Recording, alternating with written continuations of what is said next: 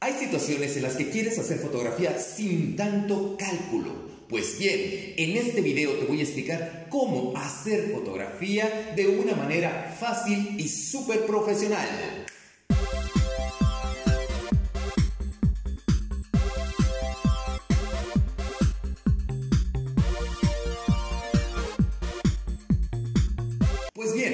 Para no hacer las fotografías de rapidito, de esas situaciones en las que te pones pero si bien nervioso, que te tiembla todo, que no sabes qué ponerle, que estás que le mueves y estás muévele, muévele para acá, para allá, para todos lados y no sabes cómo manejar tu cámara, imagínate, vamos a hablar de algo que se llama AV, Aperture Value o valor de apertura en Canon o simplemente Aperture, apertura en Nikon y en otras marcas más. Esto significa que le vamos a dar prioridad, prioridad, prioridad, que le vamos a dar primero la importancia a la apertura. Es decir, después de colocar el ISO, porque eso, ese es el valor que voy a colocar primero en mi cámara. Número uno, el ISO. Voy a llegar con mi cámara y antes de presionar el disparador, aunque me esté muriendo de ganas de hacerlo, tengo que voltear al cielo y ver a mi alrededor y decir, oh, hay mucha luz o hay poca luz. Y ahí es cuando voy a decidir qué hizo utilizar. O si traigo flash. Eso también depende de qué ISO voy a utilizar. Ese es el primer valor que le voy a poner a mi cámara fotográfica. Y después, después voy a darle prioridad a la apertura. ¿Qué quiere decir? Que en mi cámara este control, el superior, se va a volver automáticamente y por arte de magia en Canon va a manejar la apertura. ¿Y qué es la apertura? Sí, sí, sí, sí, tú, tú, tú, tú. Tú que me estás preguntando, ¿qué es la apertura? Tú que dices, ábrele o ciérrale. Y que confundes la apertura del diafragma con el obturador. Pues no, aquí viene una clarificación a tus conceptos erróneos que nunca has querido leer e ilustrarte. Te recuerdo, el diafragma es un conjunto de laminillas que se encuentran en el objetivo. Ah, entonces, cada vez que tú compras un objetivo o lente nuevo para tu cámara, estás comprando un diafragma nuevo. ¿Vale? Pues bien, ya que tienes tu diafragma, este diafragma es compuesto por unas cortinillas que se abren y se cierran dejando una apertura. Es decir, se cierran, pero dejan un pequeño circulito por donde entra la luz a la cámara.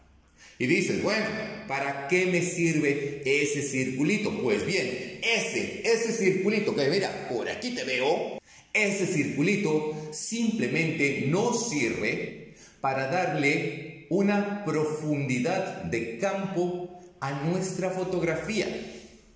Y esa apertura, pequeña o grande, se mide en valores de números f-stop. Donde aquí va lo bueno, aquí va lo bueno. Y esto te sugiero que te lo aprendas así, así, así, así, como si fuera un dogma religioso, como algo que tú tienes que creer y no lo cuestiones. Si quieres hacerlo, ya le pega el micrófono. Si quieres hacerlo, cuestiónalo. Investiga física, óptica y podrás ver el por qué. Porque viene siendo la raíz cuadrada de la distancia focal, pero no lo quieres saber, ¿verdad? Entonces, mira, cuando tienes una apertura pequeña, el número o valor de tu f-stop es grande. Y cuando tienes una apertura de tu diafragma grande, el número o valor del f-stop es pequeña. Entonces no te confundas con eso, porque toda persona que inicia en la fotografía cae en ese error, caen redonditos. Y lo único que tienes que hacer es número grande, apertura pequeña. Número chico, apertura grandota. ¿Vamos bien? Así tan fácil. ¿Y qué va a hacer esto? Bueno, las aperturas grandes, que son números pequeños, por ejemplo, 1, 1.4, 2, 2.8 y hasta 4, podemos decir, son aperturas grandes. Y esas, esas me van a servir para hacer mis fondos borrosos. Sí, ya sabes, esas fotos en las que el bookie se nota maravilloso, que se ve cremoso, así como, como resultado de un objetivo, ¿qué te diré? 50 milímetros, o mejor aún, 85 milímetros 1.2. Imagínatelo. ¡Uy! Hasta dañañaras.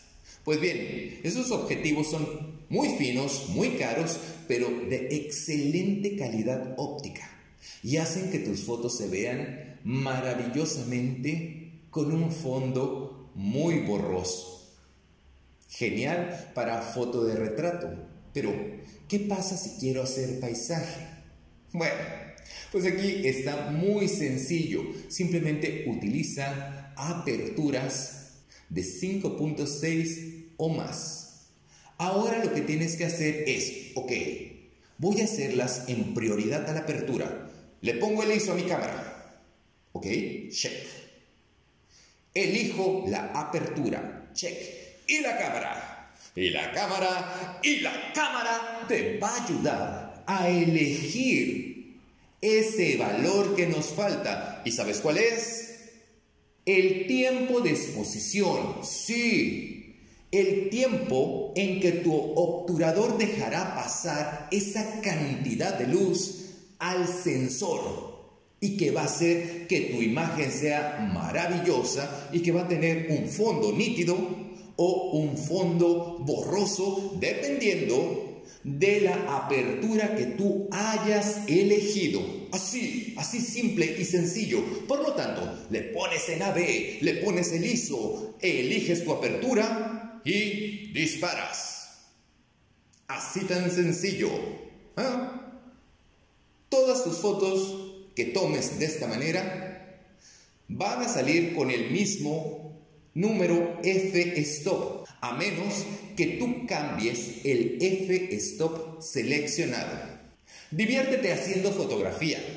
No tiene nada de malo, no es un pecado saber utilizar la cámara. Utiliza todos los comandos, todos los controles, todos los menús. Muévele a tu cámara, diviértete con ella. Mi nombre es Eduardo Luzuriaga y te invito a que te suscribas a mi canal y que veas este otro video que te va a encantar. Muy bien, nos vemos y recuerda que vamos a seguir platicando de consejos de fotografía en español. Hasta la próxima. Bye.